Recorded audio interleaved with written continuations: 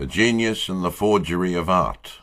Struggling artist Hans van Meegeren found that forging old masters was much more profitable than painting portraits. Even experts thought his fakes were genuine. Early in 1936, a struggling artist named Hans van Meegeren, who had only recently begun to earn a modest income with lightning portraits of overseas visitors, took a new studio in Nice and, according to his wife at least, began acting strangely. For one thing, he refused to allow her into the studio, which he bolted and barred whenever he went out. He cleaned and swept the room himself, and would open the door just enough to admit a plate when food was brought to him. Regularly, his wife knocked on the door with news that more tourists were waiting downstairs to have their portraits painted. The reply was always the same tell them to go away.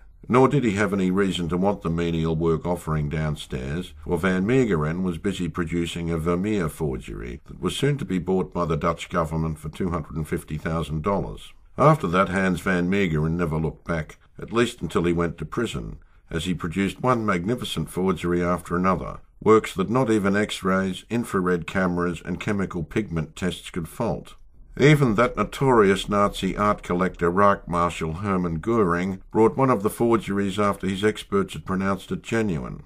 The counterfeits were so brilliantly executed that when the artist, facing charges of having sold national possessions to the Nazis, decided to admit his guilt to save himself from this accusation, no one would believe him. In the end, he had to paint another Vermeer, one he called Jesus among the Scribes. Before a jury would accept his claim, amid derisive laughter from the whole world, find him guilty of forgery. Hans van Meegeren, the brilliant copyist who made at least three million with his dishonest genius, was born in Holland in 1889. At seventeen he was studying architecture at a college in the city of Delft, birthplace of the master painter Jan Vermeer in 1632. Having graduated in architecture, Van Meegeren abandoned the subject and took to painting. He tried hard enough, but he made no impact, and in 1929 left his native Holland. In time, he won something of a reputation in cities between the French and Italian Rivieras as a rapid painter of portraits, a skill that appealed to fast-moving tourists like the Americans. His subjects, which he invariably flattered, were delighted with his work, but Dutch art magazines passed him off as a kind of sideshow performer.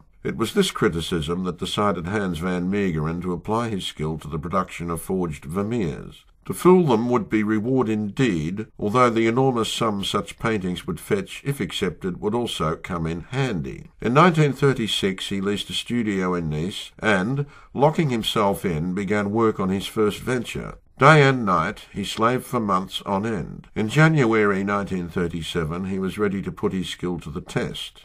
Having invited a Dutch art connoisseur to dine with him, Van Meegeren announced over the meal that an Italian widow, whose husband had left her a valuable art collection, had asked him to dispose of the paintings on her behalf. He would appreciate it, he said, if the connoisseur would take one of the paintings, a purported Vermeer, to Holland and have experts report on its authenticity. The picture which the man took with him, after being promised a commission if a sale were made, was called The Pilgrims of Emmaus, a work that appeared in none of the Vermeer catalogues. A week later, one of Holland's top art experts stepped back from the painting after having subjected it to detailed inspection. His eyes were bright as he exclaimed, The most magnificent Vermeer I have seen. Subsequently, the Dutch government felt it had a bargain when it paid $250,000 for the Pilgrims of Emmaus. Meanwhile, immediately after the expert had announced that the Pilgrims of Emmaus was one of the finest works of Jan van Vermeer, Van Meegeren was besieged by art dealers wanting to bid for the rest of the widow's collection. But he would not be rushed. He said the widow was in no need of money and had not yet made up her mind whether to dispose of the other items. If anything came up, he would let them know. So Hans van Meegeren retired to his studio for a year to emerge with the announcement that his anonymous widow friend was willing to sell another Vermeer. The same expert who had given his imprimatur to the Pilgrims of Emmaus inspected this work. Again he could not fault it, but to make doubly sure he called for the services of several Dutch and French art colleagues. All declared the painting a genuine Vermeer.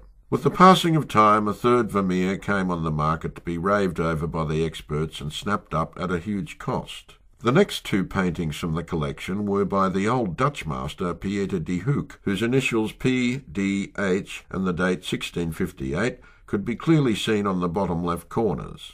They fetched almost as much as the Vermeers, Convinced now that no expert, chemical or X-ray could detect his forgeries, and sitting on a substantial bank account, Hans van Meegeren returned to Holland, leased a mansion in Amsterdam, and packed it with valuable antiques. As time passed, he put other masterpieces on the market, all sent to him by the widow in Italy. Pressure was put on the Dutchman to persuade the woman to unload her entire collection, but this was resisted. Two more Vermeers and another De Hooch brought a total of $800,000.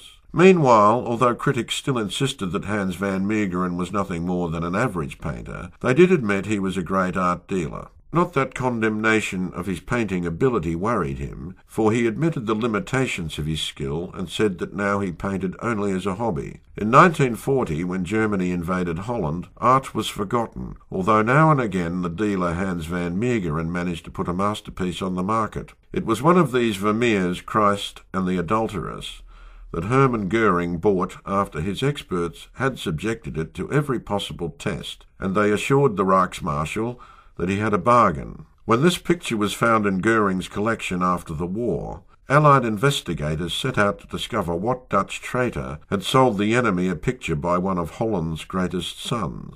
The inquiries led to Hans van Meegeren, who then had $2,711,740 in his bank account. The story that Christ and the adulteress had been part of the Italian widow's collection was checked by investigators with the obvious result no such widow existed. Three weeks after the investigation began, Van Meegeren for the first time realised he was in a serious position. He might be charged with collaborating with the enemy. He could even be hanged. Turning to one of his inquisitors, the Dutchman blurted out, I sold no Vermeer to Goering. Actually, I have never sold an old master to anyone. They are forgeries. I painted them myself. This was too much for the investigators. They labelled the so-called confession an impudent and clumsy lie.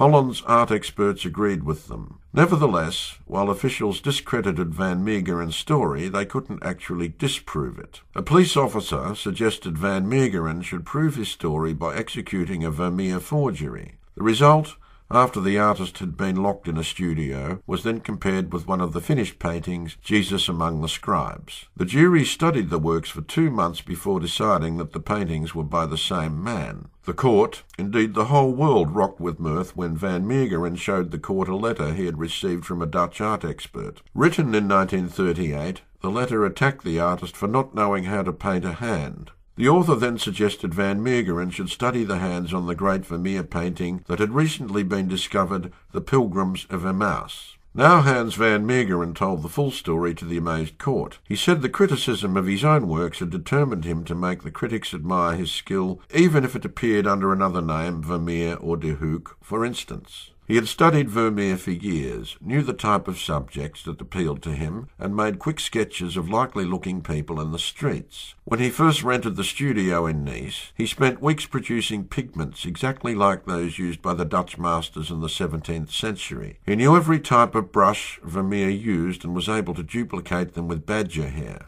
He said he had never forged a copy of an existing work, for that would have frustrated his artistic imagination. He simply painted a picture that might have appealed to Jan Vermeer. The only person who knew of his forgeries was an Italian who carried out research into old church documents to get an exact description of the garments worn by the figures in the religious pictures. To achieve authenticity in the canvas, he bought insignificant 17th century paintings, removed the pigment from them, and then, after completing his forgery, baked the finished product in a low temperature oven. The painting now had the appearance of age, but the fine cracks typical of the period were still missing. This problem was overcome by pressing the painting around a drum, which caused the baked paint to crack, and then smearing the whole work with Indian ink. All that remained now was to achieve the rich brown colour peculiar to Vermeer's work. The application and removal of successive coats of varnish produced an effect no expert or technical aid could fault. Van Meegeren told the court that he forged two De Hoochs, which brought his total of old masters to nine, simply to lend authenticity to his story